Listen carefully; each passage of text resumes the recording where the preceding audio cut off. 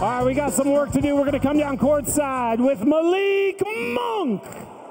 Buddy, hey, you've played in a lot of games in your career where there's a lot of emotion. Clearly, this was one of them. How do you deal? How do you get through it? The fans, man. The Fans do it, all the right. fans.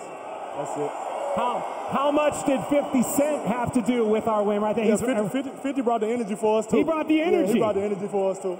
All right, so I know you've done it before. I think you even broke it when you did it. 50 Cent. Have you done the? Have you seen the beam before? on top of your hand. I bet. Yeah, no, he ain't seen it. He, He ain't do seen it the right beam. now. You guys got it. You want to do it together? Yeah, for sure. Should we light the beam, Kings fans? Light the beam, baby. Three, two, one.